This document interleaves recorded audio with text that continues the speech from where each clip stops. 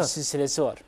Hep örnek alınması gerektiği fikrinden hareketle satır arası veya direkt manşetlerden verilen bir mesajdır bu. Hani Galatasaray iyi yönetiliyor. Çağdaş kulüp, Avrupa'yı kulüp, gelenekleri var. Eyvallah kabul. İşte herkes Galatasaray'a yakın bir yönetim felsefesine kavuşmalı derken bir anda Galatasaray Başkanı'nın Fenerbahçe jargonuyla konuşuyor olması kimin trajedisi? Ya o zaten başlı başına bir hata. Yani bugün 20 yıl önce Fenerbahçe'nin kullandığı ifadelerin yani Fenerbahçe'nin tezlerini savunma noktasına gelmek bence sorgulanır. Yani yayın konusunda Galatasaray bir kere 3 kuruşun hesabını yapmaz. Her zaman e, Anadolu'nun yanında yer alır. Galatasaray'ın şeyinde bu vardır. Yani Galatasaray Ama Anadolu takımı Fenerbahçe. Anadolu Galatasaray Galatasaray e, zengin şey yoktur. E, hatta yani benim 2000 Ne yoktur? ya şimdi Galatasaray zengin olmamıştır hiçbir zaman. Yani Galatasaray şimdi benim 2000'lerin başında Selahattin abi 2000'lerin başında Mircea Lucescu'nun Galatasaray ile ilgili çok güzel bir benzetmesi vardı. 2001, sene 2001. Z- Galatasaray'ı nasıl anlatıyordu Mircea Lucescu biliyor musun? Bilmiyorsun. Yani o çünkü o e, bir röportajı yani okuman şey değil. Yani çok aklında kalacak bir röportaj. Evet, ben çok satır arası benim aklımda kalmış. Galatasaray şöyle anlatıyordu. Galatasaray zenginleri yenen yoksul doğu takımıdır. Çünkü 2000'lerdeki başarısı işte Avrupa'daki başarısı Galatasaray'ı hem e, Balkan coğrafyasında hem de İslam coğrafyasında bir sempati yaratmıştı. Biz de genelde bu tarz takımlara sempati Onun duyarız. zenginlerden kastı tabii Avrupalılar. Hani Türkiye'deki Değildi yani Avrupalılara karşı bir tane doğu takımı çıkmış isyan ediyor. Yani o benzetme hakikaten benim de hoşuma gitmiş. Ama daha sonra 2000'lerden sonra tabii gelirler arttı artık daha farklı seviyede artık Samimiyet yerini paraya bıraktı. endüstriyel futbol dediğimiz şey de tam da bu oluyor. Ee, dolayısıyla Galatasaray'ın bugün Fenerbahçe'nin savunduğu tezlere e, aynı şeyi savunması, tezleri savunması düşündürücü. Yani Galatasaray işin ekonomik kısmına bakmazdı benim bildiğim. O noktada da Sayın Başkanım ben hata yaptığını Nihat. Genç'in bir sözü vardır. Trabzonlular da kızarlar niye böyle bizi de öyle yapıyor diye. Bütün- hep biz Türkiye Fenerbahçe'dir der. Yani hile, desise, kavga, dövüş, adam kaçırma transfer anlamında bir sürü şey vardır. Şimdi Galatasaray'da e, başkanının ifadeleriyle bu noktaya taşındıysa demek ki Nihat Genç çok doğru bir tespit yapmış. Peki şimdi e, tabii merak edilen konu şu. Mustafa Cengiz'in açıklamalarına nasıl tepkiler gelecek?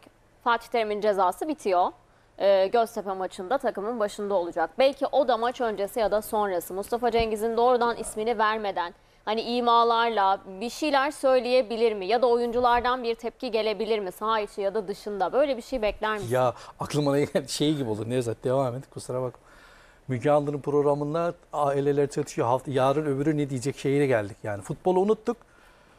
E, Futbol futbolu biz figürlerinin birbirleri unutturmadık üzerinden ama verdikleri Fenerbahçe'nin mesajlar. yani yapacak bir şey Barcelona'da yok. Messi Gündem ile başkan da polemiğe girince aynısı oluyor. Yani Evet, yani İspanya'da da ister oluyor. istemez. Ama o gündem bu. 20 yılda bir defa oluyor işte. Bizde ama her gün. Ama Şimdi işte o gündemi biz oluşturmuyoruz dizi, dizi maalesef gibi bekliyoruz Kınalı. Ezgi. E, Bir şey öyle, demiyorum evet, tabii evet. ki. Şimdi bakalım Fatih Hoca Ortada- diyecek mi? Ne Evet, diyecek? evet. Ortada keşke futbolu konuşabileceğimiz Keşke. bir ortam olsa. Zeminler Olmayacak işte mükemmel onu olsa. söylüyorum.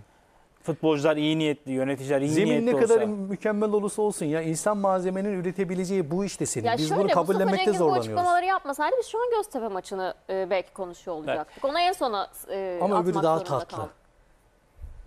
Bir de oraya tarafı şimdi dün oyuncular kendi arasında bir toplantı yapınca acaba bir şey mi oluyor? Yani no, e, darbe mi yapacak oyuncular? Yani Kazan mı kaldırıyorlar? Galatasaray'da bir başkanlık sistemi vardı. Güçlü bir başkanlık sistemi vardır. Bir kere o- oradan başlayalım.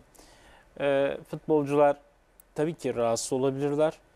E, ama organize bir harekete kalkışı bilecek e, bir ortam da yok yani. Öyle bir şu an öyle bir adım da atılmış değil. Dünkü toplantı planlı pazardan e, ya işte Hmm. bir şey yapalım antrenman öncesi hani bir değerlendirme yapalım artık kendimize bir çeki düzen verelim. Bu mealde yapılmış bir toplantı. Yani ben de araştırdım. Ama bu oyuncuların rahatsız olmadığı anlamına gelmez. Çok rahatsız Nevzat, oldular. Bu şeref ve haysiyet e, imlemesi dava konusu bile olabilir Ne, ne musun? Tazminat davası mı açsınlar başkanlara? Hayır şunu yapabilir. E, sözleşmesi devam ediyorsa e, fesih isteyebilir. Fesih sebebi ya. Bana şerefsiz haysiyetsiz diyor ya başkan. Bu kanıtlanabilir bir şey değil ki. Ya oyuncular şimdi bakın Galatasaray, ediyor, diyor Galatasaray bölündü de. derken aslında yani başkanın söylemi e, oyuncu performansından mutlu olmayan taraftarın bir bölümünü de Ya adam haklı Taraftar dedirtti. söyler. Taraftar her Yani şeyi söyler. o noktada ben ya bu noktada oyuncuların bir e, protesto içerisine gireceğini ben düşünmüyorum ama e, belli de olmaz. Yani protestoyu nasıl yapabilirsiniz? Zayıfken yapamazsınız. Yani o zaman daha da negatif hale bürünürsünüz. E, haklı olsanız bile haksız duruma düşersiniz. Oyuncuların yapması gereken sadece maçlarını kazanmak ve kupa kazanmak. E, bu- ya da Gandhi bu- direnişi. Ha, Çaktırmadan bu- protesto. bu yoksa takımı sabote ederek zaten e, olmuş yani. Bu da daha düşecek daha bir şeyiniz de kalmadı yani. Ara açılmış durumda. Ama Sayın Başkan da şunu unutmaması lazım. Yani bu grup ya da teknik kadro sayesinde siz o kupaları elde ettiniz. Ben mesela e, hep savunduğum bir şey vardı. Bunu yıllardır söylüyorum ama söylediğim şeye bugün gelindi. Ben masal son birkaç gündür masal bitti diye tweet atıyorum. Masal bitti.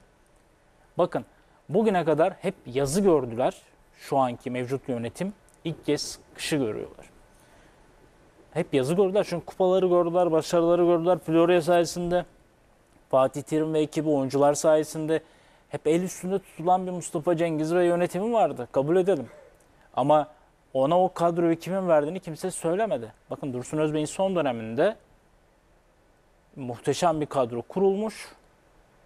Ee, Igor Tudor biraz eline yüzüne bulaştırınca Fatih Terim getirilmiş.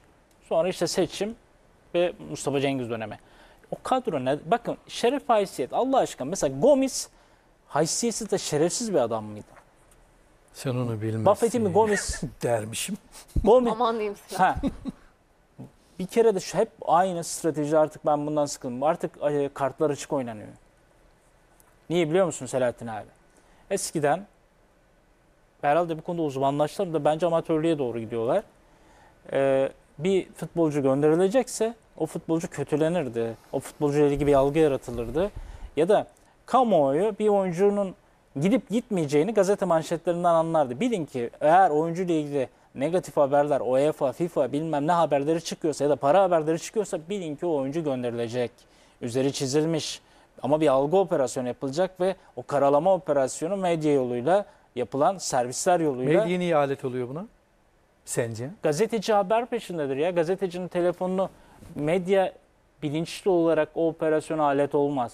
Medya gazeteci kendisine haberi alır ama kalkıp Gomis'te de bunu açıp oyuncuya ya da diğer futbolcuya da bunu sorma imkanı olmadığı için kulübün profesyoneli ya da orada kim varsa resmi görevli onun söylediğine itibar eder. Medya ama işte itibar edilmemesi ve Onu sorgulanması gerektiğini burada görüyoruz. Ee, yani bu noktada Gomis şerefsiz ve haysiyetsiz miydi? Maicon benim gördüğüm çok karakterli bir adamdı. Mesela şu Maicon şu takımda oynardı. 8 milyon euro verdiğiniz Luyendama ne yapıyor? Ortada yok. Luyendama ne yapıyor Allah aşkına? Kickbox. Onu biraz daha Yedek, konuşalım mı Nevzat? Donk ortada yok. Marka yani saatli bomba. Ya zaten Nevzat aslında Türk Fernando futbolu bak Selahattin tek abi cümleyle Fernando özetlenir. kadar sen oyun içerisinde, saha içerisinde karakterli, disiplinli, profesyonel şimdi gittiği takımda da gösteriyor zaten. Sevilla'da. Sevilla'da, Evet. Fernando karaktersiz, şerefsiz, haysiyetsiz bir adam mıydı? Niye gitti abi? Fernando'yu niye sattınız ya? Gomis.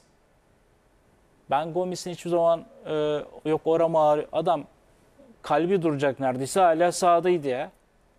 Ben Gomis'in böyle bir şeyini görmedim. Mustafa Cengiz'in taraftar baskısıyla